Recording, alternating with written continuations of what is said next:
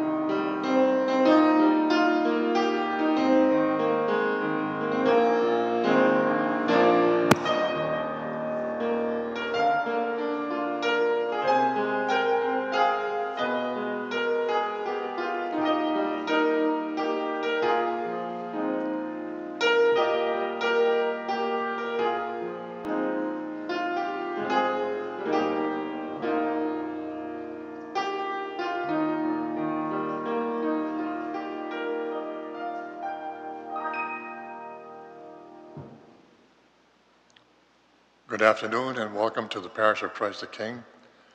Hopefully, there'll be some memories here that you'll probably never forget.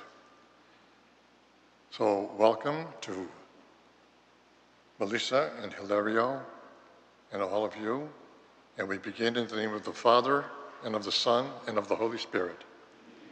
The grace of our Lord Jesus Christ, the love of God, and the fellowship of the Holy Spirit be with you all. We have come rejoicing into the house of the Lord for this celebration, dear brothers and sisters. And now we stand with Melissa and Hilario on the day they intend to form a home of their own. For them, this is a moment of unique, unique importance. So let us support them with our affection, with our friendship, and with our prayer as their brothers and sisters. Let us listen attentively with them to the Word of God that speaks to us today.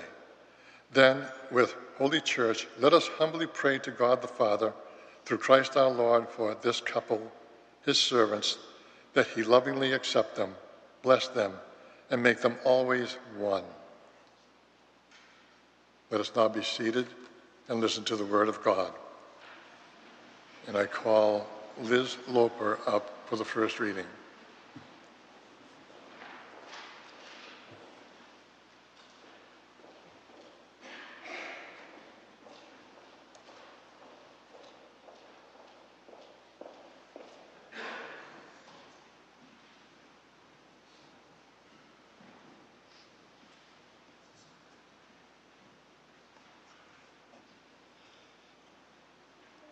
A reading from the Song of Songs.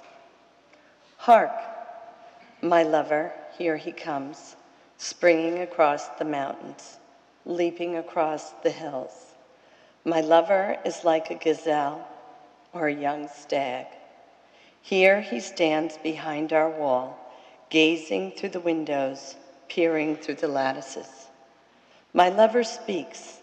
He says to me, Arise, my beloved, my dove, my beautiful one, and come. O my dove, in the clefts of the rock, in the secret recesses of the cliff, let me see you. Let me hear your voice, for your voice is sweet and you are lovely. My lover belongs to me and I to him. He says to me, Set me as a seal on your heart, as a seal on your arm. For stern as death is love, relentless as the netherworld is devotion. Its flames are a blazing fire. Deep waters cannot quench love, nor floods sweep it away. The word of the Lord. Thanks.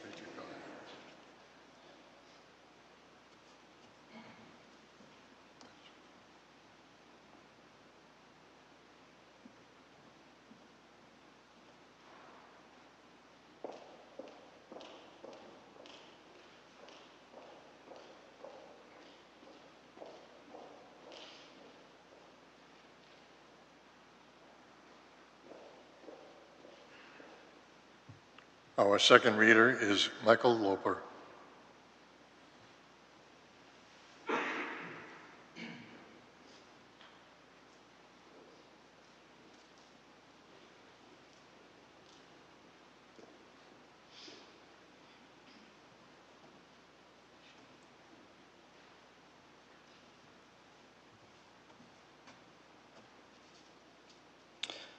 A reading from the first letter of St. Paul to the Corinthians.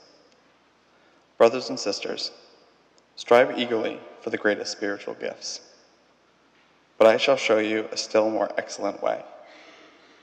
If I speak in human and angelic tongues, but do not have love, I am a resounding gong or clashing cymbal.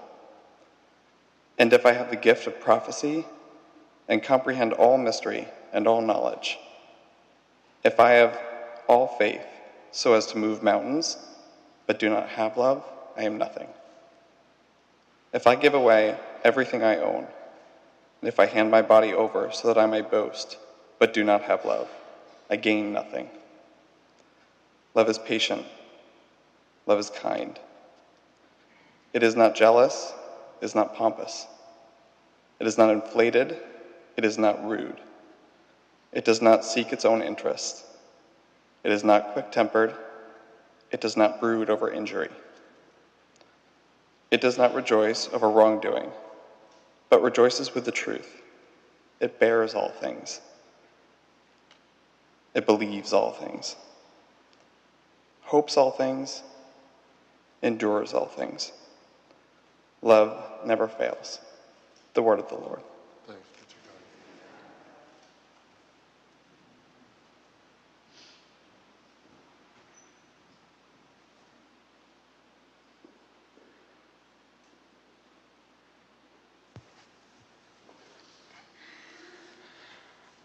Please stand.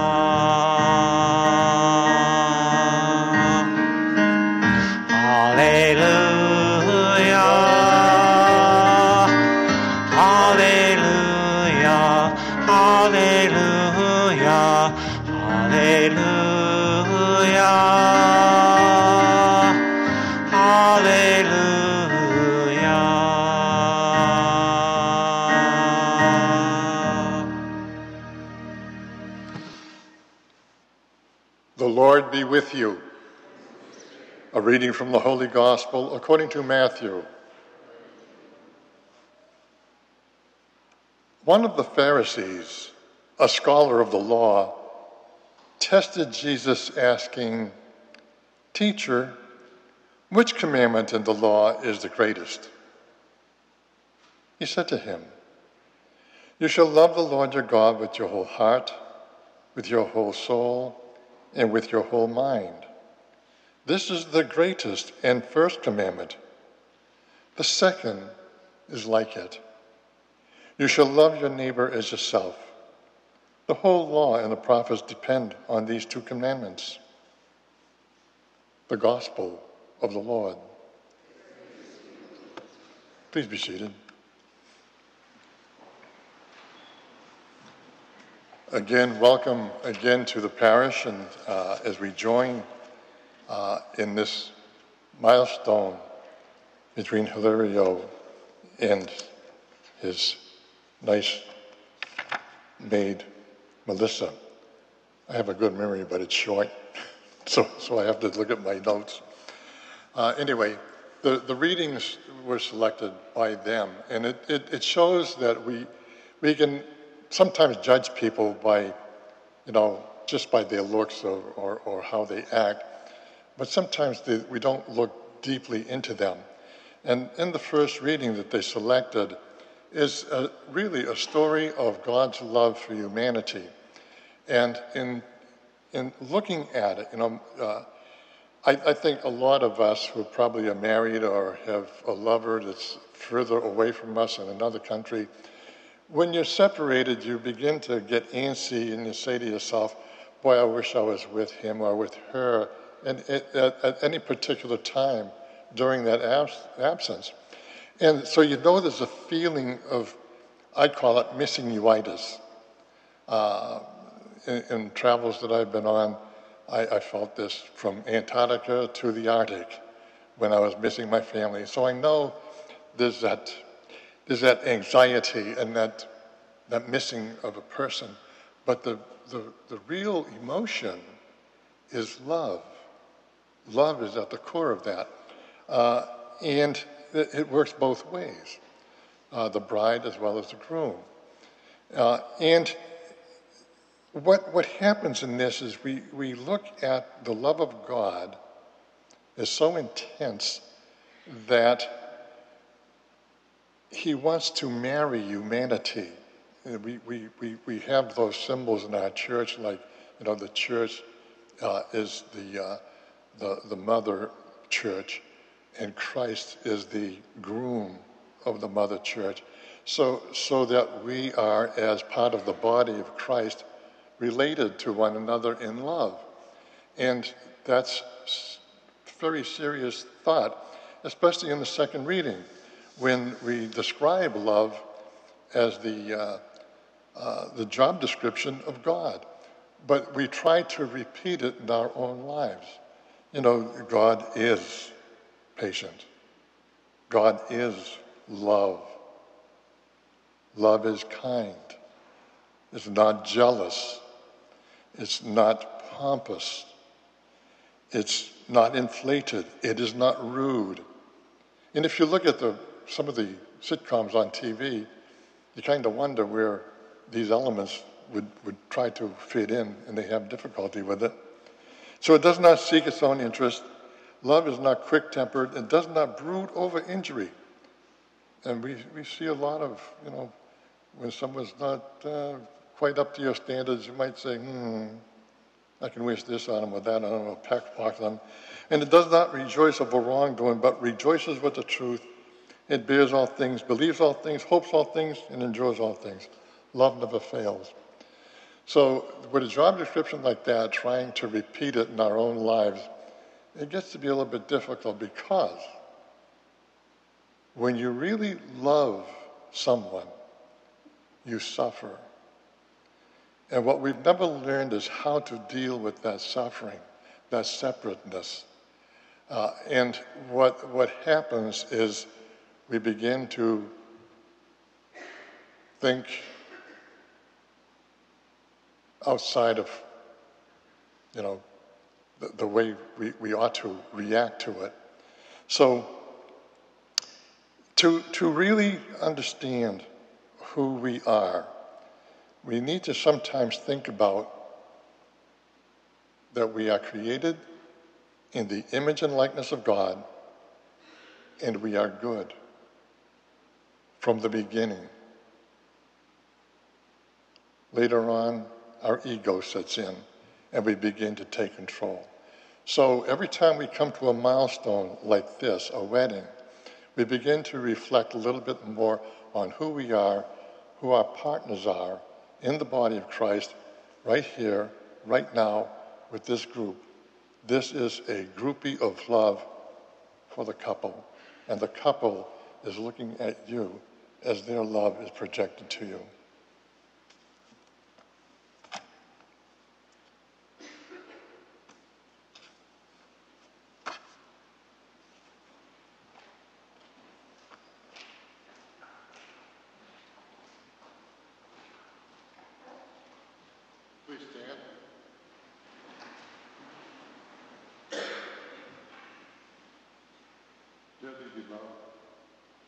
Since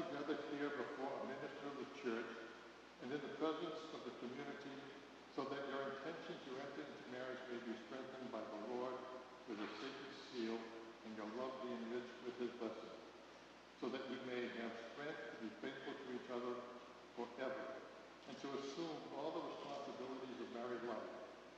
And so, with the presence of the church, I ask you to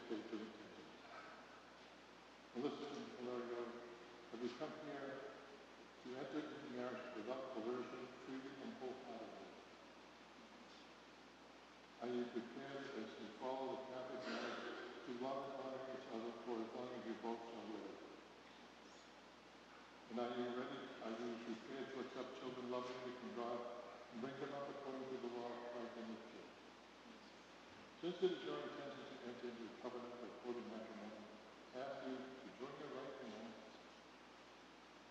Espírito Santo por.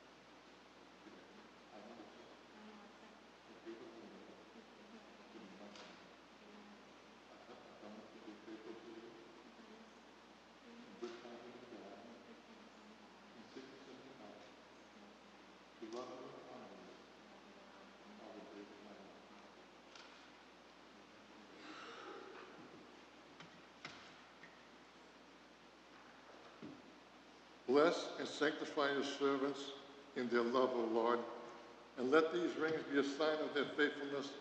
Remind them of their love for one another through Christ our Lord.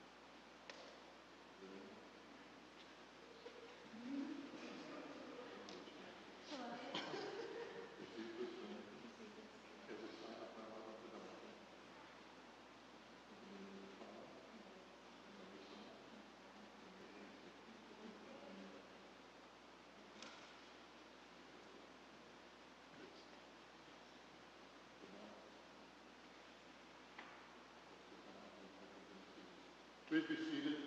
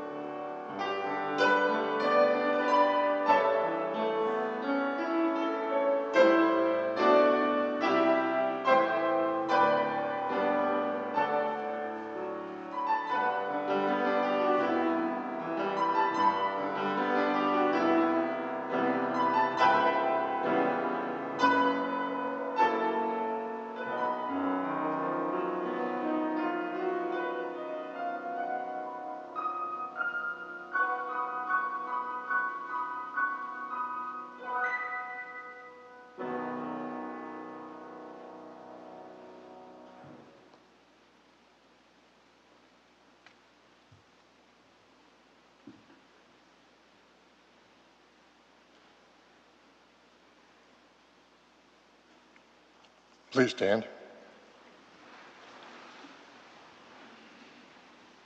Dear brothers and sisters, let us accompany this new family with our prayers that the mutual love of this couple may grow daily and that God in his kindness will sustain all families throughout the world. The response is, Lord, hear our prayer. For this bride and groom, for their well being as a family, let us pray to the Lord. Lord, hear our prayer. For their relatives and friends, and for all who have assisted this couple, let us pray to the Lord. For young people preparing to enter marriage, and for all whom the Lord is calling to another state of life, let us pray to the Lord. For all families throughout the world, and for lasting peace among all people, let us pray to the Lord. For all members of our families who have passed from this world, and for all the departed, let us pray to the Lord. For the church, the holy people of God, and for unity among all Christians, let us pray to the Lord. Lord Jesus, you are present in our midst, and as Hilario and Melissa seal their union, accept our prayers and fill us with your Spirit, who live and reign forever and ever. Amen.